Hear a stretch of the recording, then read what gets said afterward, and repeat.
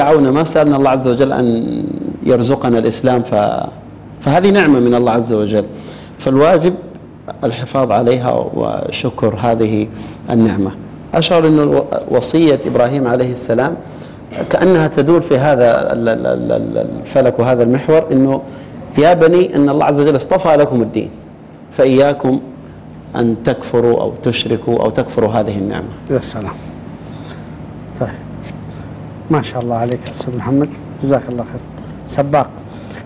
آه عندي شيء بقوله بس كذا تبعا لما سبق وربطا آه عند تأمل طريقة القرآن في عرض هذه الأسرة المباركة من هي؟ بيت ما الخليل. سمي ببيت الخليل ها؟ رحمة الله وبركاته عليكم. أهل البيت. البيت من سورة هود عليه الصلاة والسلام. في قصة إبراهيم عليه الصلاة والسلام. إبراهيم عليه الصلاة والسلام. والأم؟ سارة هاجر. سارة أو هاجر. وحدها في مكة. وسارة معه في الأرض التي باركنا حولها أو باركنا فيها. وإسحاق أو إسماعيل وإسحاق. ويعقوب. ال- ثم يعقوب. هذه الأسرة. صحيح ولا لا؟ متفرقين أو مجتمعين؟ كم عددهم؟ ستة طيب ذكر الله عنهم أحوال. ثم جاء من نسل هذا من أشهر من جاء من هذا النسل يوسف عليه الصلاة والسلام اللي هو الكريم ابن الكريم ابن الكريم ابن الكريم. يوسف ابن إسحاق ابن يوسف ابن يعقوب ابن إسحاق ابن إبراهيم عليه الصلاة والسلام. تمام؟ وذكر الله عنه كلاما طويلا.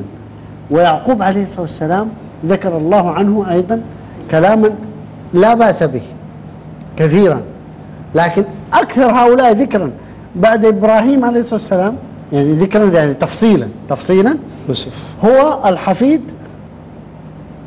يوسف عليه الصلاة والسلام ثم يعقوب عليه الصلاة والسلام ثم إسماعيل عليه الصلاة والسلام ثم إسحاق. واضح؟ غير بقية الأحفاد من بني إسرائيل ثم النبي محمد صلى الله, صلى الله عليه وسلم أجمعين. هنا أعود وإياكم إلى الوصية البيتية إذا ممكن نسميها أو الوصية المعنوية. كثير من الناس ينصرف باله لما نقول أوصي أو وصي يوصي بالمادة بالمحسوسات. راعوا المزرعة انتبهوا للأرض الفلانية ترى سلفت فلان ترى فلان علي. هذه كلها وصايا شرعية مقبولة. لكن خير من هذه الوصايا جميعا تقوى الله. هي الوصية بتقوى الله. المعنوية. الوصية المعنوية وهي الوصية بما يبقى مثل أن يقول لهم يا جماعة ترابطوا يا فلان وفلان من الأخوان والأخوات امسحوا ما بينكم كونوا يدا واحدة. سبحان الله أذكر حضرت مع إخوالي وخالاتي وصية كتبها جدي لأمي رحمة الله عليه واسمه يوسف رحمة الله عليهم أجمعين كتب إليهم رسالة يعني يوصيهم فيها بالاجتماع عدم التفرق ويتذكرون ويتذاكرون هذه العبارات التي كتبها كتبها للابن الأكبر. ولمن كان معه من إخوانه الذكور وقتها ويوصيهم جميعا بمثل هذا. هذه وصية مباركة. فكيف لو كانت مربوطة بالتحمس والثبات على دين الله؟ و- ورح نرى أثرها بعد قليل في بقية الأسرة. إلى يوسف عليه الصلاة والسلام. يعني إبراهيم عليه الصلاة والسلام. إسحاق. إسحاق. ويعقوب. نرى أثرها في يعقوب الذي هو يعني الجيل الثالث. ثم نراها في الجيل الرابع. والله ما ذكر لنا إياها في الجيل الثاني في إسماعيل ولا في إسحاق. ما يدل على أنهم حملوها لأبنائهم وحملوها ربما لأحفادهم وإبراهيم عليه الصلاة والسلام حضر حفيده معه. لأن الآية تقول ووصى بها إبراهيم بنيه. قال بنيه مع أنهما؟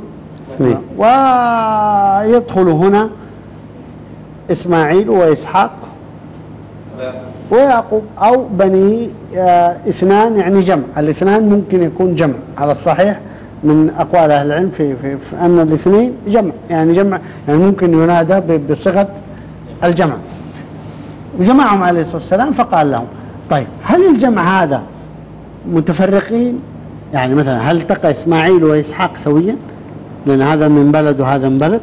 في آخر العمر؟ لا ندري. لكن ال- الآية تدل أنه وصاهم.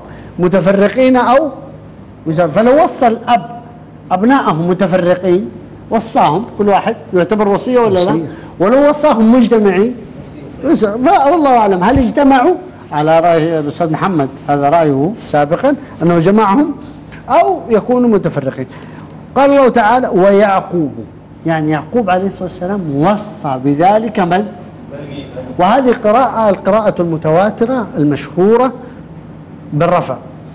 هناك قراءة غير متواترة وهي قراءة علي بن أبي طالب رضي الله عنه في قول الله تعالى ويعقوب يعني ووصى بها إبراهيم بنيه يعقوب. ويعقوب يعني. يعقوب أحد الموصين.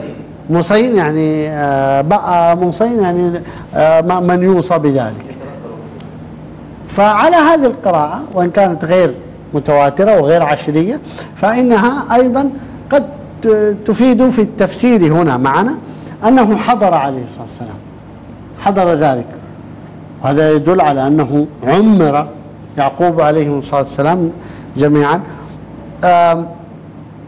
ويعقوب عليه الصلاة والسلام أيضا ورث هذا فيما بعد كما سيأتي وورثها منه يوسف عليه الصلاة والسلام. اسمع إلى وصية سيدنا إبراهيم عليه الصلاة والسلام. يا بني يا الله. في آخر حياتي ما يزال على اللطف والأدب والاحترام للأبناء يا إيش؟ يا بني. يا بني. ويعقوب عليه الصلاة والسلام ورث هذا عن أبيه. قلنا قال مرتين لأبنائه يا بني. يا بني. وقال لابنه يوسف عليه الصلاة والسلام يا, يا يا بني, بني. لا تقصص رؤياك على إخوتك. واضح؟ قال يا بني برضه مرتين قال يا بني. واضح؟ ف... ف... فهي ذرية بعضها من بعض. إذا هذا أثر التربية. ورث ورث. الحقيقة. م- م- م- هو الأثر يا شيخ انعكس. حتى الآن على الأمثلة اللي ذكرتها البيوت ليش بيت يطلع ما شاء الله كلهم على مثلا أخلاق؟ يعني في الغالب أخلاق وأدب معين ينعكس على التربية. نعم. لكن حتى لو كانت التربية جيدة قد يبتلى الأب والأم بمواقف. أكيد. فلا يقول الإنسان والله هذا كان من تقصير الأبوين. فإن يعقوب عليه الصلاة والسلام. ما قصر في تربية أبنائه عليه الصلاة والسلام.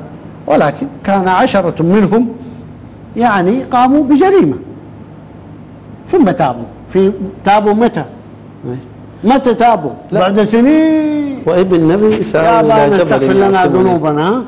وابن النبي أبت يعني- سآوي إلى جبل يعصمني أيوة. يعني فذلك لا يعني تقصير أرجوكم يا إخواني يا أخواتي يعني نحن لابد أن نشيل من رأسنا شيء مهم وهو أنه إذا رأينا ذرية مقصرة لا يعني ذلك أن التربية مقصرة فيه فقط. ربما هذا هذا من الابتلاء. ولا يعني أن لا يوجد تقصير. فكلنا خطاء لكن لا تتهموا الناس بمثل ذلك لأنه قد يكونوا بذلوا ما عندهم لكنه ابتلاء من الله. وقد يصلحهم الله في آخر المطاف. تفضل. بعض الناس بعض الأمهات الآباء إذا ربوا عيالهم طلع الولد آه، في يعني ابتلاء زي ما ذكرت أو معصيه مايك. شغال والله المايك. أنت عندك مشكلة في المايك. أيوه. تفضل أيوه. دقيقة عفوا. يا حبيبي فبعض ال- الأمهات والآباء إذا طلع ولدهم شقي وعاصي أو حاجة زي كده تلاقيه يقول يا ربي أنا إيش سويت في أبوي وأمي؟ فأظن أعتقد برضه مو شرط إنه يكون هو عاصي في أبوه وأمه. نعم. بس بعضه لا نعم. نعم. يعني الأفضل في مثل هذه الحالة أن الإنسان يتهم نفسه أولا في ذنوبه وتقصيره وخطئه وخطله يعني ولكن أيضا يرى أن هذا نوع يرى أن هذا نوع من ال من الابتلاء. بارك الله فيك. بعض الناس يقول هذا شوف شيخ وولده كيف؟ شوف مدري إيش. هذه منتشرة مهما كان. والعكس والعكس قد يكون مفسدا فإن عكرمة ابن أبي جهل صح. رضي الله تعالى عنه وأرضاه كان أبوه قمة المفسدين في الأرض في الجاهلية. صح ولا لا؟ طيب وهكذا. وابنته ما اشترى يعني إلى آخره. طيب. إن الله اصطفى لكم الدين فلا تموتن إلا وأنتم مسلمون. يعني عرج الأستاذ محمد بما يكفيني أنه قدم عليه الصلاة والسلام بعد النداء اللطيف يا, يا بني وهذا يا ليت الآباء ينادون به عيالهم وذريتهم. إن الله اصطفى لكم الدين. فيستحب لمثل الآباء والأمهات أن يوصوا في حياتهم قبل مماتهم بوصية جامعة وليس بعدة وصايا. ينسي أول آخرها أولها أو أوسطها آخرها. إنما وصية. انظروا إلى الوصية هذه. مقدمة. إن يا بني أولا النداء اللطيف ثم إن الله اصطفى لكم الدين. هذه مقدمة. نعمة الله عليهم. ثانية ما هي الوصية؟ يسيرة لا تنسى. ما هي؟ إن ما هي كذا وكذا وكذا إنما هي إيش؟ إن فلا تموتن إلا وأنتم مسلمون. يعني ابقوا على الإسلام. أنتم ولدتم في الإسلام. لم تروا مثل ما رأى. عليه الصلاة والسلام. عاش خرج عليه الصلاة والسلام من بيت صانع الأصنام عليه الصلاة والسلام. فيقول لهم فلا تموتن إلا وأنتم مسلمون. سبحان الله هذه الوصية لمن عاش في بلاد الكفر أو يرى الكفر أو الوثنية يعني يتمثل مثل هذا. لكن من يعيش في بلاد الإسلام لا يكاد يوصى بمثل هذا. ثم وصى بذلك عليه الصلاة والسلام يعقوب عليه الصلاة والسلام أبنائه أم كنتم شهداء إذ حضر يعقوب الموت؟ إذ قال لبنيه ما تعبدون من بعدي بطريقة أخرى ها؟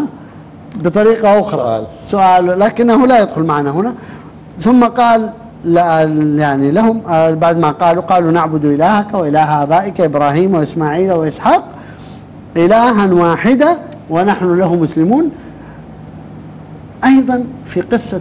الجيل الر- الرابع وهو سيدنا يوسف عليه الصلاة والسلام قال في آخر قصته قال توفني مسلما. وألحقني بالصالحين.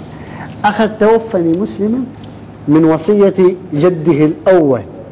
وأكيد جده اسمه إسحاق التي ما ذكر الله. وجد وأبيه يعقوب عليه الصلاة والسلام فقال وقال وألحقني بالصالحين سيأتي معنا في أدعية سيدنا إبراهيم عليه الصلاة والسلام أنه دعا بنفس الدعاء. أنه ألحقني بالصالحين. فأخذ من الجد الأكبر الذي لم يدركه لم يدركه. أخذ ذلك. ما يدل والله أعلم أن هذا التراث وهذا الآداب والسلوك تتناقل. يعني كأنها دعوة كل يعني كلهم يدعوها في البيت ويتناقلوها أنا ما كنت معاهم. دارج. أنا ما كنت معاهم. من هو صح ولا لا؟ لكن طبعا هذا هذا هذا متوارث. لا.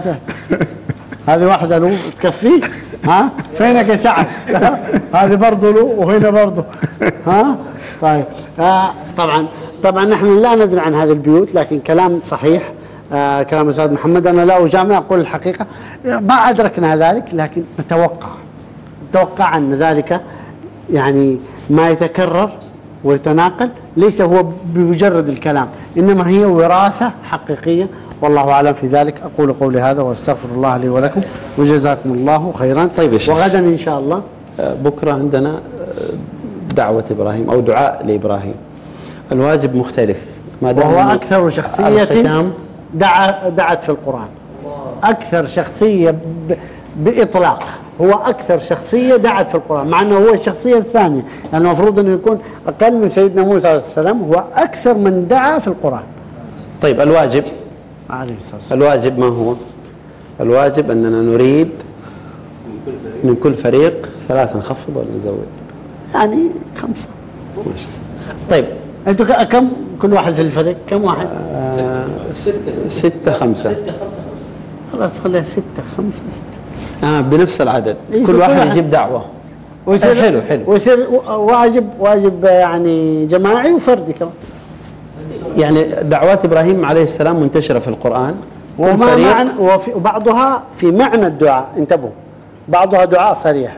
وبعضها في معنى الدعاء.